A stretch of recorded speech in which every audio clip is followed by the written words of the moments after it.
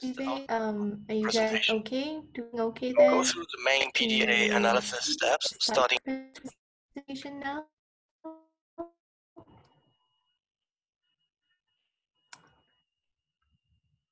Lei Cheng, you are cutting out, but um, no, we can, we can hear it. Uh, sorry, sorry, is the voice uh working now? Yeah, yeah, it's fine. Yeah. Oh, okay. with the ideas, then goals and context, followed by the significance, and last but not the least, the five senses. While my partner Shibei will briefly explain our material, the lesson plans. So the issue we have identified is the lack of contribution from the students in the classroom. A brief introduction of the background is that in most Chinese primary schools classes, teaching usually occurs in a lecture style, where the teachers occupy 95% of the time and leave little space for students to contribute. Our targeted audience is the students of third grade in the education center, and our collaborator is one of the English teacher from TAL education group. To address the issue, our goal is to create engaging content in students' learning process and make learning, especially memorizing vocabularies, more interactive and fun. In a way, students can be motivated to contribute more in classrooms. We have been in contact with our collaborator who used to work with Shibei in the same education center. She is taking charge of six classes and after our communication, on top of the fact that students are not contributing enough, she also pointed out that students often seem bored and lack of attention. And thanks to the flexibility of her classes, we are able to put our practice into her classrooms. But first of all, the reason we think the issue matters is because the academic emotion of boredom is one of the most commonly experienced emotions of students in schools. But a lot of schools and teachers have overlooked the issue of boredom experienced by students and attribute this emotion to laziness, student anxiety, or depression, or to personality variables, while in fact, boredom is experienced as the lack of activity or being disengaged from satisfying activity. It, it can occur during an activity and also when there is no activity in which to engage.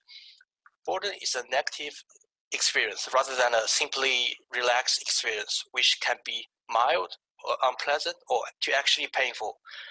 The individual who is bored has difficulty paying attention, difficulty concentrating, and the effort is required to maintain focus on what is going on in the environment. Because of the negative influence brought by boredom, we have concluded that in our project, a very important part that helps students to contribute in class is motivation. Motivation is one of the most used words in teaching today, and it, is quite a complicated concept. To break it down, according to Gilbert's research in 2013, that there were three things going on at any given time in a classroom. Children taking new information on board, children processing the new information, children being entertained, having fun. The last one has to be an integral part of the first two for them to be effective. So what we can see here is that fun is a key to motivation as it is not only useful, it is essential to learning, not as a bolt-on extra, but as an integral part of learning. more importantly, all learning has an emotional base. Unless we emotionally believe something to be true, we do not fully believe it. There are a lot of emotions that drive us to learn. For children of third grade, make them feel happy and sense of satisfaction is the most effective way as real motivation comes from within. So what we know is that children will not enjoy sitting there like puddings, passive and inert. So we come up with a teaching framework that involves the variable activities. Basically, it is a structure of lesson plan, but depending on the themes of the lesson, teacher can choose a range of appropriate activities. And more importantly, each lesson will include a small project so the teachers and students can work together around the project and learn from it. For more details, I will hand over to my partner Shibei. Because we don't really have much time for five senses, so I will go through this really quickly. Hi everyone, I'm Shibei. The following section consists of these three parts. First, I'll introduce the differences between traditional lesson and our lesson, then show you the outline of eight topics for their summer classes. In the end, I'll show you example of a detailed lesson plan that we designed with our collaborator. As Zhi mentioned, our collaborator is one of my former colleague. I used to work there in the Shanghai branch and teach those kids English, so I'm familiar with the course content and classroom procedures. Just like most English classes in China, the traditional lessons highly focuses on grammatical knowledge. There are lots of exercises during and after class, such as multiple choice question, gap filling, and true or false. And most of the class time, teachers keep talking while students sitting on their chairs take notes.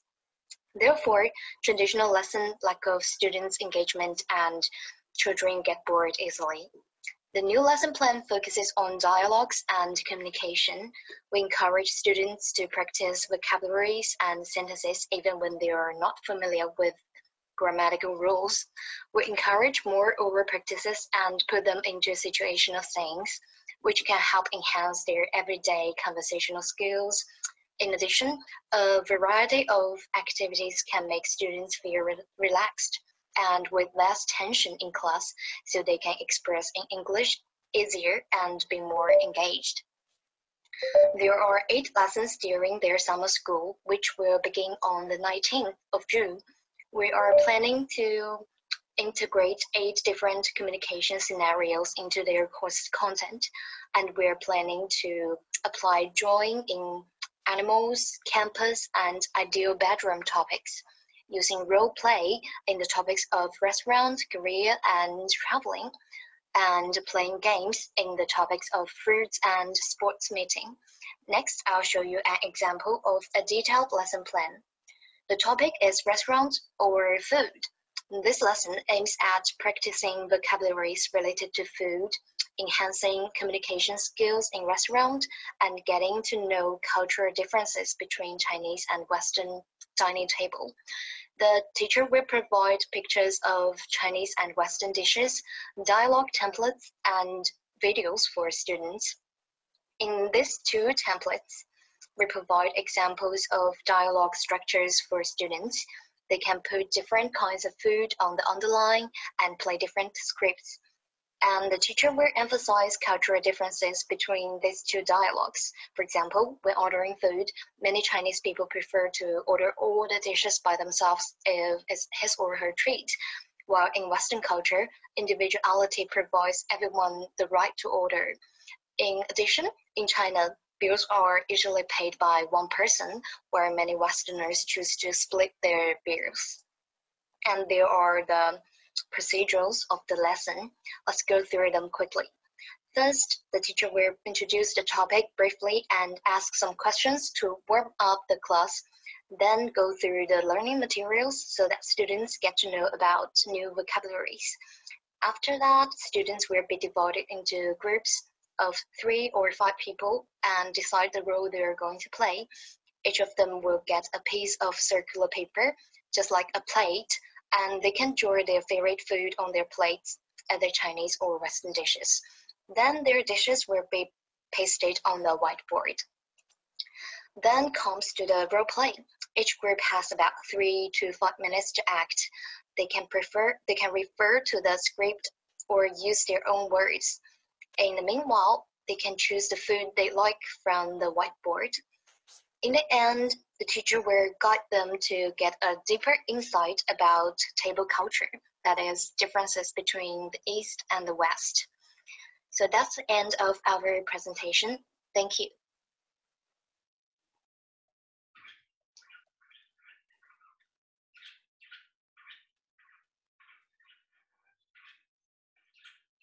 All right. Thank you, um, Shibei and Ziyu. Um, does anyone have any comments or feedbacks or questions um, for them? Yeah. yeah, I have some. Yeah, yeah, yeah. Yeah, I have some feedback